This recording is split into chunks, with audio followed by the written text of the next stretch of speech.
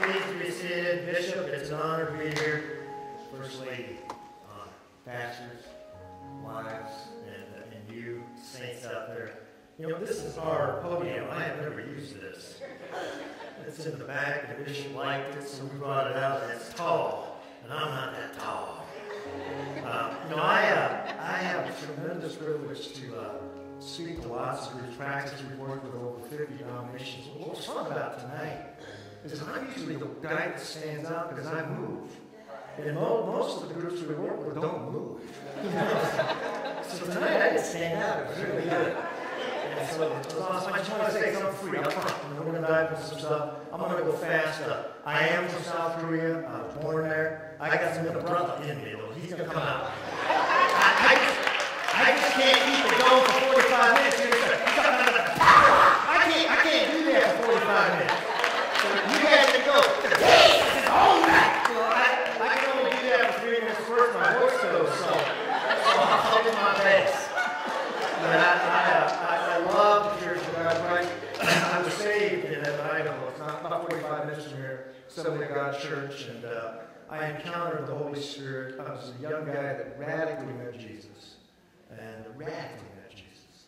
And when I did, I, encountered the Holy Spirit for the first time as a 13-year-old boy. And uh, he came on me. I was just pursuing him, and, and I, I, I began at 10 o'clock. I didn't know how long I was. And, I just began to be overtaken by the Spirit, began to speak in some language I did not know. And uh, when I was all done, I was jacked up. I was, I was pumped up. I was overwhelmed. My mom hadn't been saved yet. She was Buddhist. She was soon to come. She did. My brother was soon to come. I came out of the room 10 o'clock at night, at that point it's 11.30. I had been in the Spirit for an hour and a half. had no idea. It was authentic. Uh, my, pastor didn't tell me how to do it. I didn't have somebody say, should have bought a Honda Keys my Toyota. I had none of that and stuff to, to get you going. I, I just did my own. And, uh, and it started a tremendous passion for me. So I just want to say something up, up front that's free. Revival. Revival. I used pray for revival. And uh, it's an Old Testament concept. We have a misunderstanding. Uh, revival is something that's the old covenant. We, we, we revive Israel. The new covenant is about reconciliation, renewal, and restoration. So let me explain that. So when, when you talk New Testament stuff and Jesus and the person of the Holy Spirit, we're not talking about propositional theology. The U.S. is all jacked up and backward messed up in our churches. We have so much propositional language. And propositions are important, the, the statements of our faith and what we believe. But it's not so much about propositions, it's about the prepositions. It's about what Jesus does in you, so he can do it through you, so he can do it for others. But there has to be a renewal, there has to be something that's reconciled, there has to be something that's restored. And so in the New Testament, it's not about revival. It's about restore me, renew me, so that Jesus that's resident in me today is alive and well. And so we're going to talk about pastor and leaders as a disciple because you can't do any of this stuff unless you're a follower of Christ. You can preach up storm, you shout all you want. And people do. And God will honor his word because he's God. Yes. But the problem is we're not living this life. I was born in South Korea in 1960, so you can figure it out. I'm the old guy, right? Keeps you up, by the way. Keep lots of rest. 1960, Korea was about 0.05% South Korea, 0.05% Christian, 99.5% Buddhist. My mom was one of them. 1968, if you've never heard of Paul Yonggi Cho, uh, at the time, uh, not long ago, he pastored one of the largest churches in the world. They had a major catastrophe in the church years, years back. They, they shrunk a little bit, but at their peak, they were 800,000 people. The largest churches in the world existed in Seoul, Korea. So when I was born, there was hardly any Christians. In 1968, Yonggi Cho could barely get a thousand believers in South Korea. Billy Graham came in the early 70s to South Korea. Largest crusade Billy Graham ever held. People were praying and believing, the few that were in South Korea. 1.1 million people came to Jesus Christ with Billy Graham's crusade. And it began. Yonggi Cho started a church that began to grow.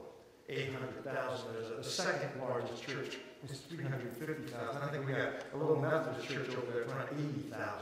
Presbyterian churches are 50,000. I mean, it took off. So from 0.05% in 1960 to not long ago, Korea, South Korea, went to anywhere from 36 to 49%, depending on which statute did Christianize in my lifetime. So I began to pray. If you did that in my home country where I was born. And surely you can do that in the United States. I don't, I don't know where you sit. I, my, my mission in life is just to mess up everything possible in the kingdom of darkness. To raise up the saints of God who then might be empowered and might actually believe that God can do this. Yeah. And then we would see change. Now, I'm going to do something else before we dive into this, too. You, you, you use the Acts 1 8 time. You shall receive power when you are baptized in the Spirit, right? And then you'll be my witnesses. Do with power. So we got that all backwards. See, we understand power is something we wield. Power is something you wield. It's, it's, a, it's a person you yield to. So follow, follow, follow. So Acts 1, promise. Acts 2, Pentecost happens. 14 plus people types, here, people groups are, are baptized in the Spirit. They, they marvel at this. And the church goes from 120 to 3,120, and Satan loses control. And I, just want to tell you, it doesn't take a lot of people. There's enough people in this room. I told the congregation this on Sunday. 120 people, fully devoted, fully committed. I have pastored churches bigger than my Messiah all my life. But my Messiah had 120 committed people on 9-11, 2001, 18, 19 committed people, disciples of people, boarded airplanes and changed our world. It does not take a lot of people to change the planet. You can be in this room tonight, you can get all jacked up and walk out and say, well, that was good, when you can do nothing with it. God's people. But I want to put in perspective what power means. Power is not something that we, we wield and we go out and throw off some, people fall over, and people healed. And I, I pray for all those things. The power of the Holy Spirit is always about restoration and reconciliation. Track with me. In chapter 2, those people groups are brought together. The church is born. Acts 4, there's this power moment that takes place where they're before the rulers and, and they're told never to preach again. And they're with the brothers and they, and they pray. And I, I love this prayer. Acts chapter 4, verse 29. They're not praying for protection. They're not saying, oh God, be persecuted. Say, God, give us boldness to answer their threats. So when they come at us, we want to come at them with Jesus Christ. So you've got this group of crazy people. And then you go to Acts chapter 8. You got this rift between the, the Samaritans and the Jews. They hate each other. And the Spirit of God falls on the Samaritans just like the Jews. Now they're in a mess, so James and Peter, John and Peter have to go down and verify and baptize and authorize and include. So the first thing that happens if you're baptized in the Holy Spirit is reconciliation, brothers and sisters. You ain't baptized until that happens. What made Azusa Street so amazing was there was a black man leading it in 1906. That's what made it amazing. William Seymour stood up, preached the gospel. He's black. In Los Angeles. And it brought black and white together. Or it gets better, Acts 10. Peter doesn't want to go hang out with these unclean people. He has a dream. What I call clean, you never call unclean. Goes to Cornelius' house. And I love this. Do you think God's a God of order? Of course he is. I love all the churches saying, oh, God never, never violates his word. So order. Come on, check, check out chapter 11. Peter's talking and he says this, while I was preaching, That's right. the Holy Spirit fell on me. As he did us. So he says to the brothers, what was I to do? See, none of the Holy Spirit fell on the Gentiles. So if you're baptized in the Spirit, you really have power. You can reconcile. Brothers and sisters, you can forgive, and then you can include the other. And if you cannot, I don't know what happened to you. You had a moment. Come Yeah, the song got you, but you didn't get moved by Spirit. We are in a mess in our world. Judgments all over the place. The Supreme Court ruling. I, I, I cried on Facebook when I read what Christians write. God's going to judge this world. He'll Sodom and Gomorrah apology. Good grief. We, we make God sound like he's some hateful being. And if he was that hateful, you and I would be in a war with her. Man, how many times have you sinned and blown it and God was really like that? You would be done. So, all that to say, Church of America is a world hurt. Church of the Spirit, Church of Scripture is not. Ever. Ever. Ever. There's always people who are willing to trust Him. If we'll let Him empower us the way it's supposed to be. Honestly, I, I don't know if it's permissible to say the word suck in, in your setting. If not, it's a Korean wood. That's not. You know what's up? They want to do it that way. So, so we, we suck at loving people. Love is defined by two words, giving and forgiving. That's it, man. So God wants us to be people who are empowered by His Spirit to change the world. And this amount of people in this room tonight, please, please, I'm not just trying to find you out. We can do it. If you're willing to actually trust Him, obey Him, forgive, and release. If you really want to do that, then God will do this. He'll do it through us. He's just looking for people. What God will do in you, so He might do it through you for others. So let me ask you this question, pastors, leaders. What is it about your relationship with Jesus that your community needs? Oh, you need Jesus because they're going to hell. Well, we know that. What is it about your relationship with Jesus today? So what's Jesus doing with you? Well, I don't need no name. Maybe he'll do something with you. If I can get you all jacked up, maybe I'll get jacked up. No, no, no, that's not how it works. I, I come and I give you the comfort that I receive that's my Bible tells me. So what comfort you receive? We, we got some weird gospel going on. We got bad news before good news. It's all good news. You got cancer, it's all sin, I got the cure, and I'd like to give it to you. You can reject it, can I just tell you what the cure is? And so, you, you don't go to cancer patients, you got cancer, you're to die. I know that. Would you give me a cure? Yes, we'll give you the cure. The cure is Jesus. Amen. And the cure is going to give my Now, I, I, I want God to move. I've been praying because you did in Korea. Oh, come on, Jesus. Blow America up. And, and if you, if you, and what am I, man?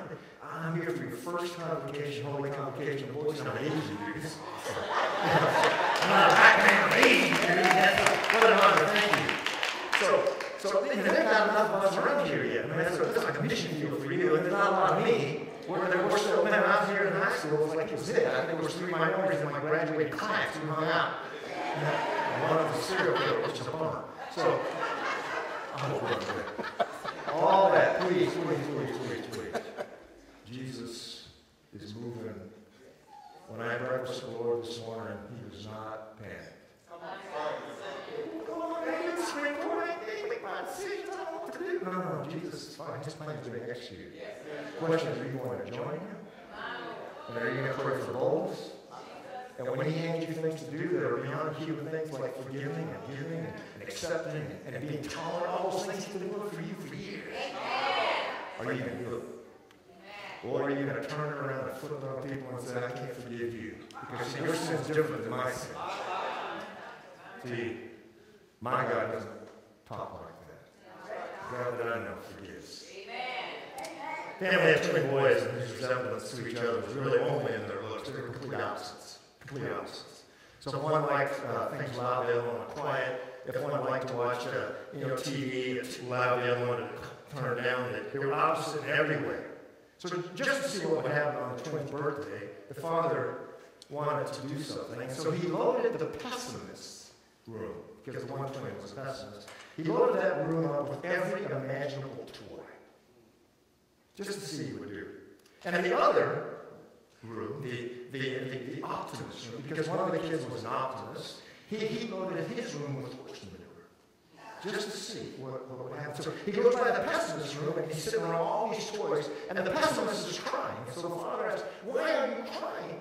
And the boy says, Well, because I have all these toys, and eventually these toys are going to get old and beat up, and they're not going to work anymore, and I have to buy all these batteries, and I have to take care of all these things. And he's overwhelmed.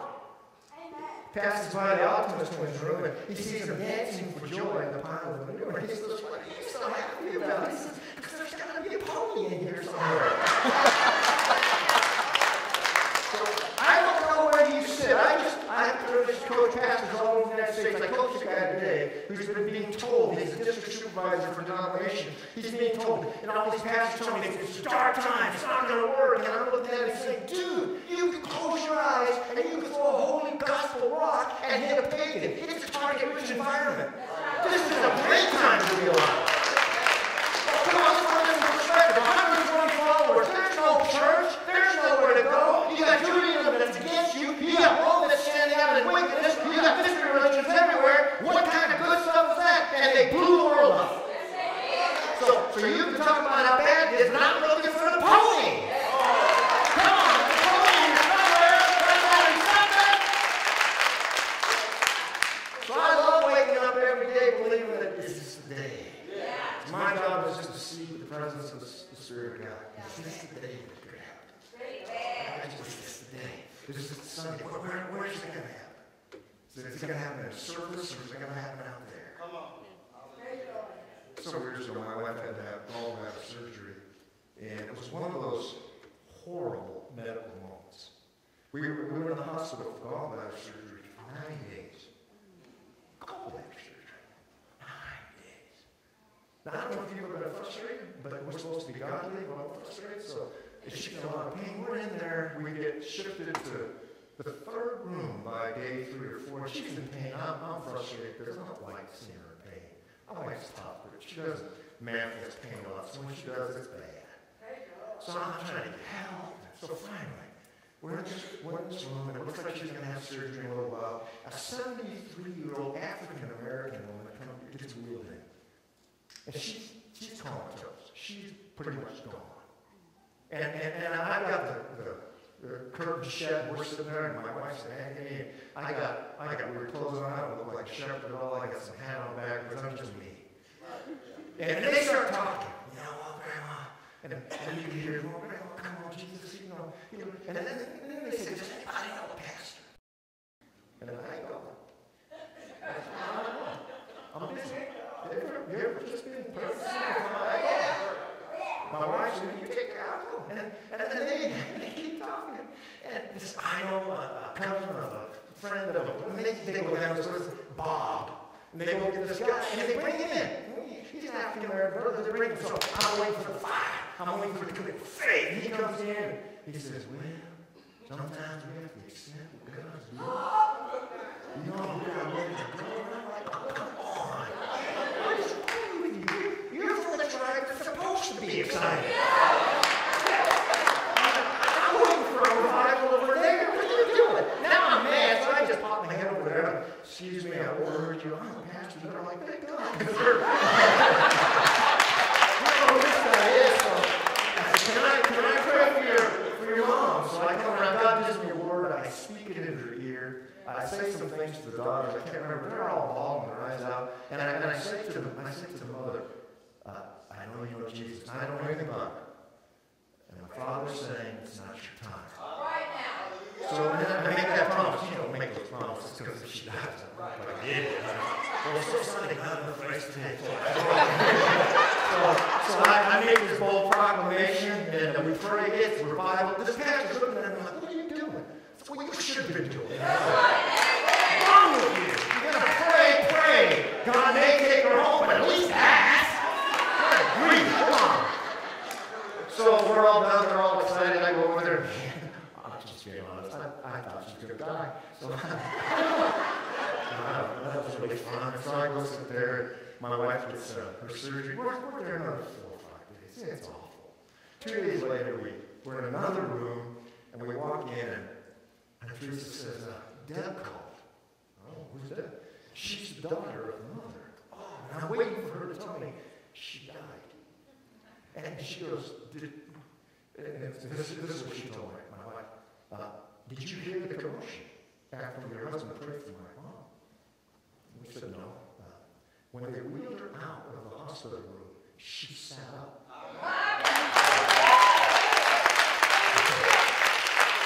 And, and she's alive. We, we don't know your God, but we want to. So, so I, I said to my wife, I said to my wife, of course God healed, you know. So it doesn't have to happen in here. The real moves of God happen out there. And the reason we don't have miracles much in the United States, the reason we have when we go on trips, we just have to come back to the Philippines, they got tons of stories, is because people are on mission. If you're on mission, God will take care of you. If you're just trying to do church, it gonna happen. You're just going to have moments. That's why we pray over little headache things, little things. We're trying to get little things covered. You get out, we're on mission. God starts to restore people who are blind. And we've seen some of that crazy stuff. It's pretty cool when someone says, I can see! And then you're more jacked up than they are. So, do you want this? Because if you do, it's going to take you being knitted to the Father, loving Him with all that you are, loving others as you love yourself. And, and the way this works in Greek is as you live life, make disciples, as you go. We got backward. So if you know anything about Greek language, the, the go is, is what's called an aorist passive, which means it's not an imperative, it's not a command. It's as you're living life. The imperative is on make disciples. Nothing wrong with going, but wherever you go, you better be bear fruit. So this isn't about we now go and make disciples. This is about I'm going my house. I do wherever I go, wherever God speaks. We call that the irreducible core of the gospel. That is the essence of what church is about. You can do a lot more than this and be the church. You cannot do less. If you're not about loving God, responding to His love all that you are, you're not about loving others you love yourself, if you're not about living life and making disciples, I don't know what you are, but you're not the church. You're just what my pastor used to say. Just because you have a lot of people doesn't mean you have a church. It just means you have a lot of people. To have a church is something else. And so we want to be the church. If we're going to be church, and I need to be a man who's on my knees, broken before the Father, weeping before his world. Because see, we, we pastors, we, we cry on Monday because tithes are low, tens are low. And we don't cry on Thursday because our neighborhood is lost. We, we don't cry on those other points for the people. We cry about ourselves. See, God is wondering, is, there a people out there that would cry over the things I cry over? Or is there people out there would laugh over the things I laugh over? And that's what he's after. So we need to, we need to have, we need to have a life that's spiritual communion with Him. And, and when we talk about this is in its progression. Know, as we talked about the prepositions and living in, so living in the community, and living with God, and living with others in the kingdom, and living for others in the kingdom, so that we're serving them. It comes from a life flow that is growing and impacting. That you and I are feeling and living the presence of God every day. So did you wake up today? With the presence on you. Even if your day was hard, even if there's trials, even if there's difficulty, there is a peace. And peace isn't, I feel good. Peace is I'm able to stand up in the midst of the storm, like Jesus, going through a boat, that if the life tough, there's something peaceful in me. And Philippians it this way. The peace of God will guard your heart. The Greek word is a military term. What it means is God will put a garrison of angels around you. And as long as you stay in His presence, you look out your heart window and you are okay. It's saying if you want to mess with this, you've got to get through them. And while I'm in His presence, you can't stop me. My Bible also says if I get together with the, saints of God, the gates of hell cannot prevail against me. We start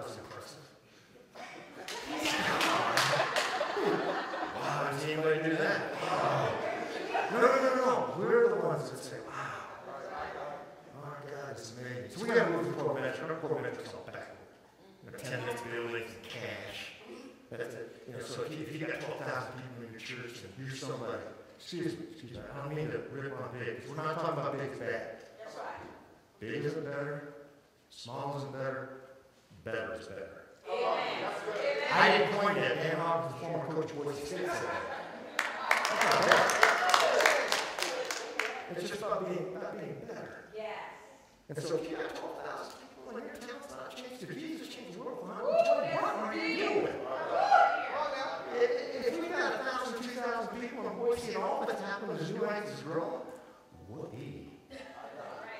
I would think Treasure Valley mess up. Wouldn't you want our community, our mayors, to be really sad if we ever disappeared? We don't know if we agree with that church, but they help our city, so we of black them around.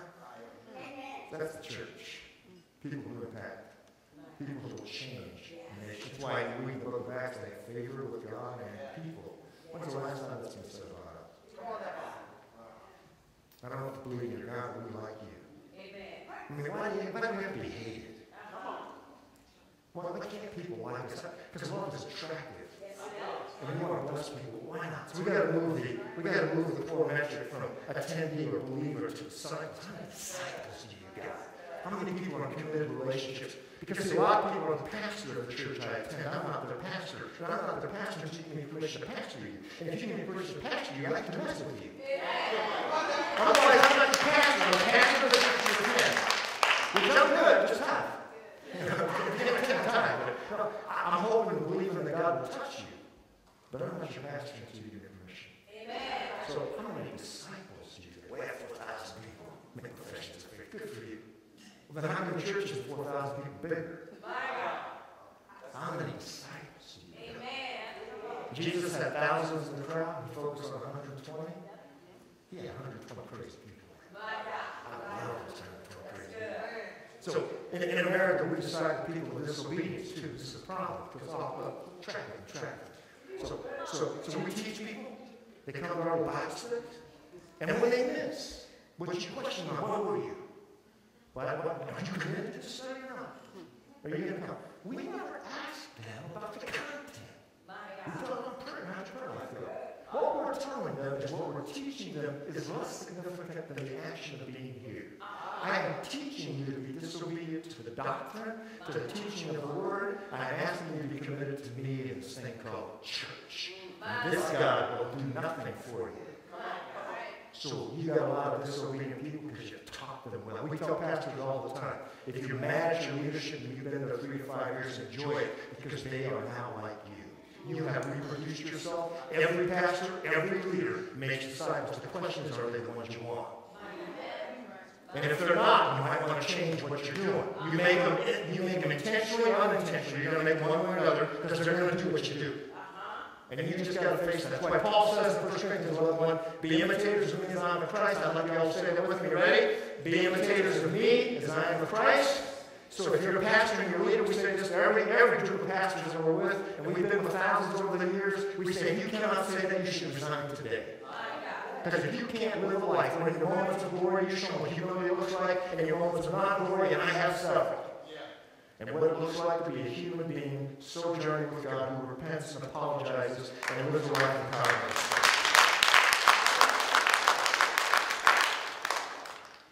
So we disciple people in America the task, not the character. We got a lot of people. Have you ever seen a guy blow up because he's not good at what he's doing? Have you ever seen a ministry fall apart because he can't do something? It's usually because there's a character problem. Ministries go to several thousand, the guy has an affair. There's something wrong with the character.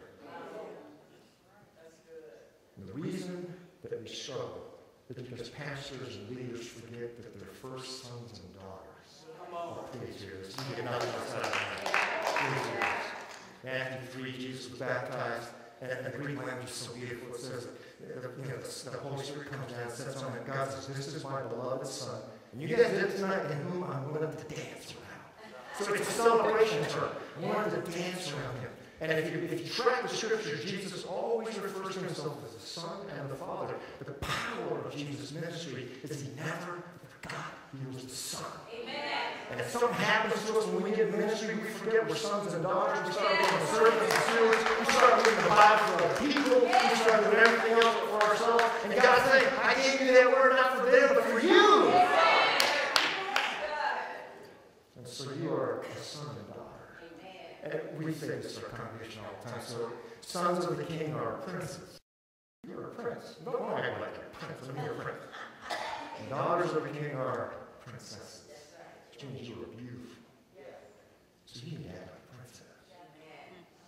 You need to be a prince. Authorized in Jesus. What a beautiful thing. So I'm a son. I, am just enjoying Jesus with the privilege to be a pastor to do whatever you honor, whatever you want me to do. I'm just your son. Because when I get to heaven one day, all I want to hear is, Mike, I'm proud of you, boy. Yeah, I'm here.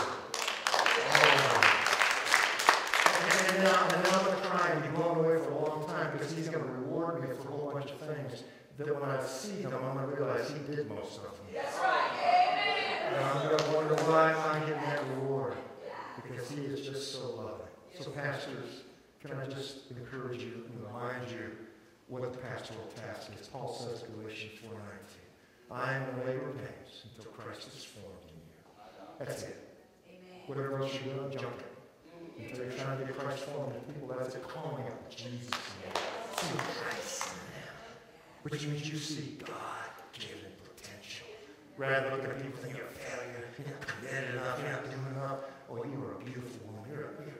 incredible man. And you call out the Christ in you, create an internal conflict. You See, the Spirit of God is in you, and you're going to want what this is. And I want you all messed up so you want what this is. Which means if you actually want that, you got to let go of sin and stuff and figure out stuff keeps you back. And, and somebody who's far better at this than I am, he's called the Holy Spirit, and he's God. He's going to mess with you 24 7. And he creates you and reminds you. The Bible says he doesn't convict believers to sin. Read John 16. He convicts them to righteousness. So he's calling you forward. Go this way. Go this way. This is who you are. He's got so much more for us. We get stuck and we get caught. Can I keep going for a little bit? I, I can stop if I need to. So Ezekiel 3.10, I want to read this passage. This is for all our leaders. It says this, and I'm going to read it out of the NIV. It's a great translation. It says this. Uh, New English translation, excuse me. Son of man, let all my words sink deep into your own heart. First, listen to them carefully for yourself. The day you and I stop doing that, we should quit. That's right. What was God saying to me? I feel love today. I'm just enjoying Jesus. I had a good day. Me and Jesus had a good day. Yes. Uh, It's nice to be by myself with Jesus. I'm never by myself. It's nice to share my life with my family. It's just nice to have life.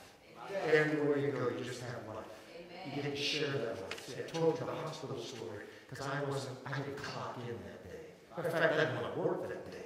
And God's like saying, you can do whatever you want, pastor whatever you want. You're my son, and I'm calling you as my son to help my daughter. I don't want her to come home yet, and I want to lead the rest of the family to Jesus. I need somebody else to pray better than that again. So I did. And God worked.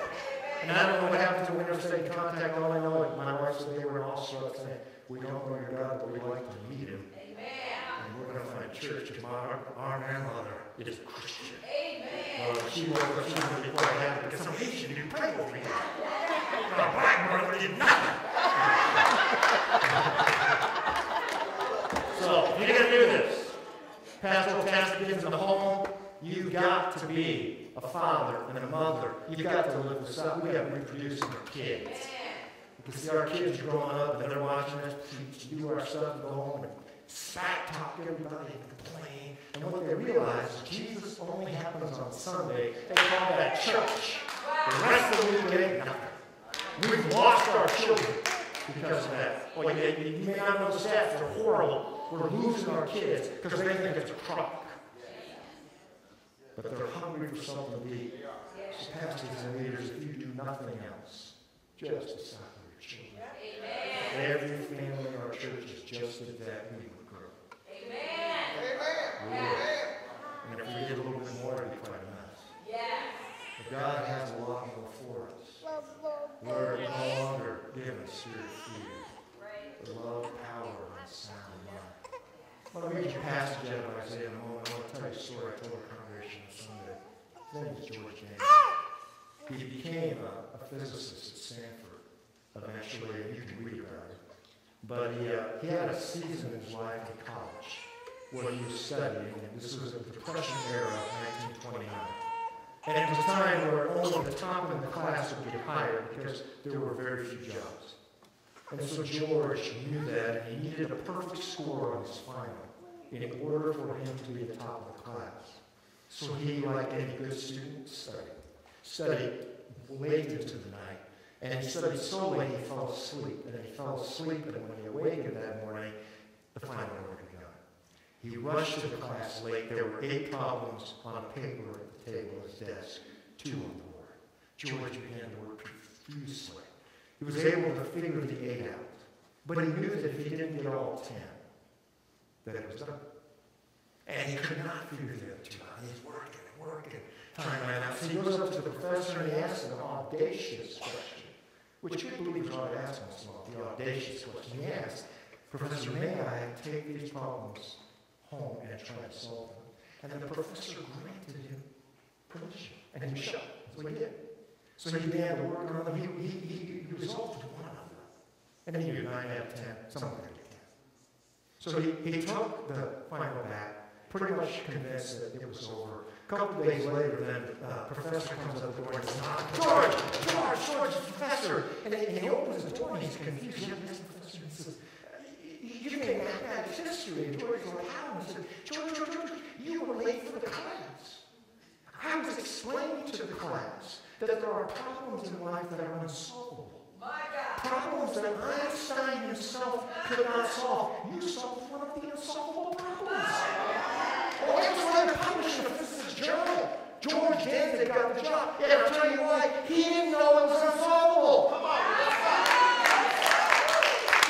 Some of you sitting in this room right now. It's unsolvable. I can do a on it. I can't do it. Well, you ain't gonna do it then. Or you can say, I'm baptized in the Holy Spirit. My sins have been washed. If these can get any rounder, they would. My God says I can. And if a JVB team called the Disciples and change the world, surely he can take us. It just takes action. So here's what we got to do.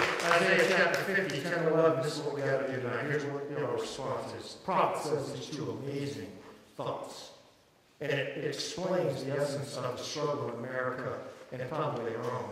And it's an action that's required us tonight. Because what's keeping us from being those people is what's described in Isaiah 50. Prophet says in verse 10, Who among you fears the Lord and obeys the voice of the servant? Let him who walks in darkness and has no light trust in the name of the Lord and on his God. Behold, all you who kindle fire will have a torch. Who equip yourselves with burning torches, walk by the light of your fire. And by the torches that you have kindled, this you will have from my hand. You shall lie down in torment. So here's the prophet's explaining. You can choose, and many of you have, I have. I have chosen the momentary peace of a torch to light my path for the next three or four steps. And God says, for a momentary peace, you will have long-term torment. You understand what long-term torment is? It's called the ache in the soul. It's the deadness that happens to you. It's the flatness that's in your being. It's you wondering constantly if there's more. Life's boring. You're kind of done. This is this it? And I can't let go of this torch. See, this torch is in the way of you experiencing the fullness of God. Here's what God's asking you to do. It's ridiculous. Put the torch out. Now, I don't know if you've ever been in pitch black. We like to go spelunking as a family. We've been pretty deep in some caves. My girls have actually gone there. We've turned out the light. My youngest daughter can only go five seconds in total darkness. I mean, you can't see anything. And that's a frightening place. God is saying, the thing that you trust the most that gives you momentary comfort, blow it out. Wow. Stand in darkness and listen for my voice that says, Come here. Extend your hand. Frederick Buechner, one of our great writers of the 20th, 21st century, says this Faith is walking in the dark, taking hold of the hand that's in front of you. So here's what happens, and here's how it works. So you, you reach out and, and you find Jesus, and you hear that familiar voice that says, Come with me. And so, so he starts. And you're not rich. You're, you can't see, so you're, you're, you're checking everything and making sure. And then pretty soon you're like, okay, this, this is all right. So you start walking. Yeah, this is pretty good. It's where I can't see. And then Jesus says, I'm crazy. But you do it all like that. He starts running. He starts little jogging. You're like, oh, man, and this, this, this is uncomfortable now. Because I still can't see. And you hear his voice. And he's laughing. Come on, come on. And you're like, this is funny. I mean, I'm scared. And then all of a sudden, Jesus starts picking up speed. And then he takes off in a dead sprint. You feel the wind in your face, and you feel exhilarated. And all of a sudden, for the first time, you see. Those were the disciples. Anybody bold enough to try it? I like that life. To overcome it means the fear of your childhood, whatever pain you went through, the rejection and hurt and all the junk that hell has for us. For us to say, I won't hold this anymore. And I'm going to trust that you won't beat me, you won't abandon me, you won't mock me, you won't fool with me, but rather you're going to lead me, and that voice isn't a trick voice, the one that calls me tenderly, isn't leading me over a cliff, you're not going to drop me into some hole, you're actually lead me life. And then when I get to tell people, it's the first time, in that moment, I see. And that's the Apostle Paul. And what are you going to do to a Christian who sees? What do you do to Paul? Kill him? To live his Christ by his name. Torture him? I, I count it a privilege of self-respect. What do you do to a Christian like that? Once a Christian sees, it's over. But to see you're going to have to blow torch. You want to reach out God? You blow a torch. And then we got to get baptized in the Spirit and give and forgive. We got to start being renewed so we can reconcile, so we can restore. Because God's about restoring people, bringing families together, bringing people together. Let's make that happen. Can you stand with me?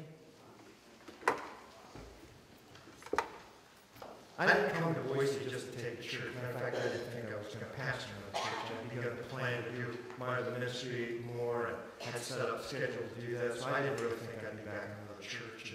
And this came out of nowhere. It was very clear I'm supposed to be here. The odd thing was that I'm from this area. My mom came to Christ here, and, and so my mom was living with us because that's the Asian thing to do. The old son takes care of the mom, and I was staying in Asian tradition. And uh, she was sickly, and I knew, I knew, please understand, this was very difficult for me, so I'll try to do this without crying. I knew that when we would leave, if God ever called us out of Arizona, my mom would die. And in a conversation in September 2013, my wife and I had, you know, we've moved four times, and we've never had a promise of salary except this last church we took. And there was a bunch of staff. We've never had any guarantees, we just done it, it's, it's fun. Are we still those people? Would we do it again? Or am I one of those guys that now has to have a church of this size and this salary package? Have I become that? And if I have, I think I just opened my mouth. I, I don't want to be that guy. I'm, go. And I know, I said, well, I know if we go, my mom will die. So we talked for a couple hours that night, and both of us decided we'll do whatever God wants. And then we felt like 25 year olds again. Until we got up and we realized we're not. We felt young. Okay. And we didn't know what God was doing. It was months later. God called us. We came here.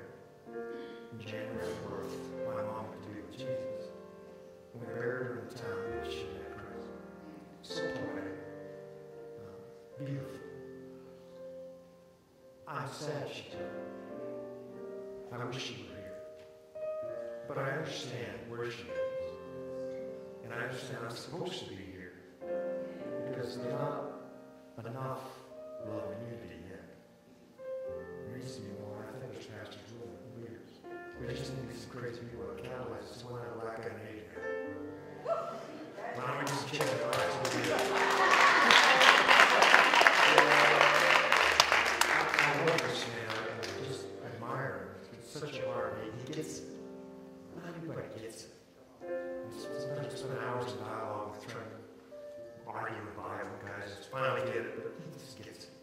So it was a range conversation that night. It's wonderful sense. And there's more happening.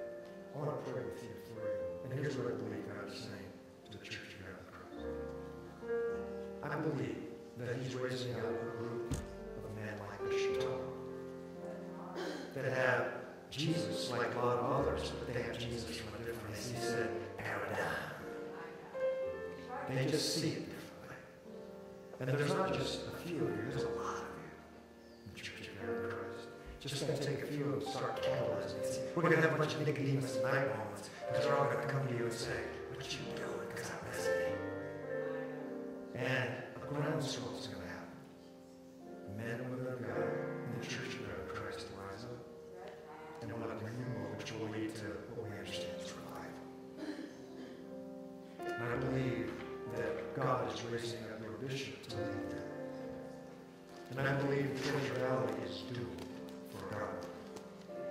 From our perspective, we're in the multiple denominations. I just want to encourage you that when we're at the table with men and women from other tribes, they all sound the same. They're hungry for Jesus.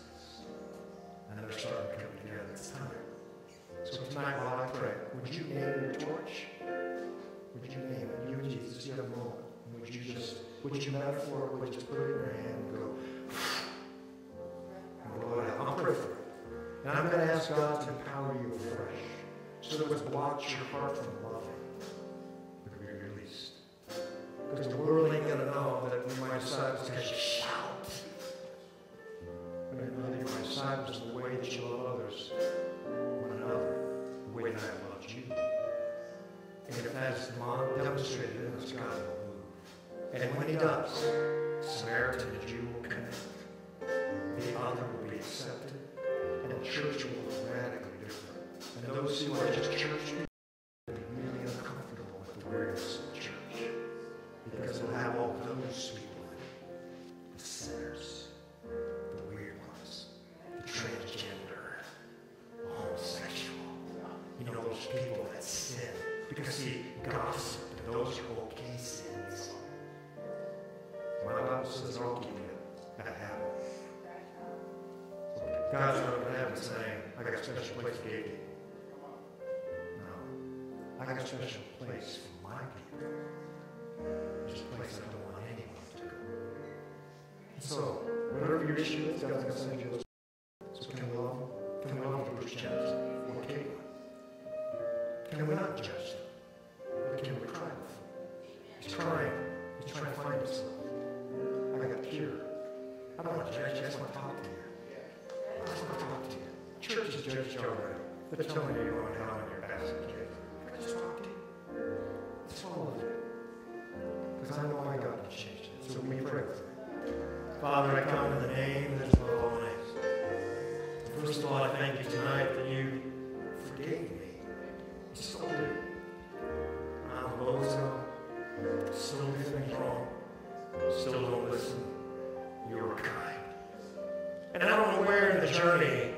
Decided that I was okay and everybody else's way.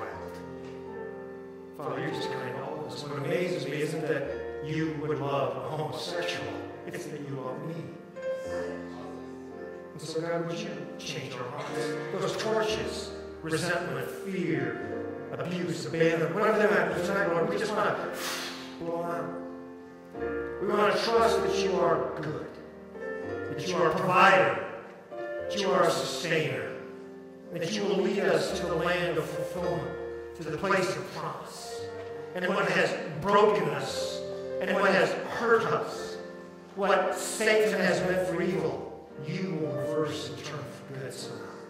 And that we might rise up as those cracked pots, image of God restored in us, communicating to the world that there is hope and so much more. I pray for the pastors and the leaders of the Church of God in Christ. Oh God, would you raise up would be crazy enough to obey you? Would you, would you place with Bishop Taro and, uh, and, and Sister Karen, Lord, just men and women that would come alongside so that it might be described to them like Acts 2.14, where Peter stood with the eleven. May people stand with them alongside and war with them with the weapons of love and forgiveness. Father, I pray blessing and release. And I believe you're going to use this church. I believe you're going to use this group to mess up Idaho. And so it's not just a black king, Lord, it's many people's coming. Lord, he's got a touch on him that is not only for the African American, it's just for the person who's longing, who feels different. And so may you bless, and may you draw, and may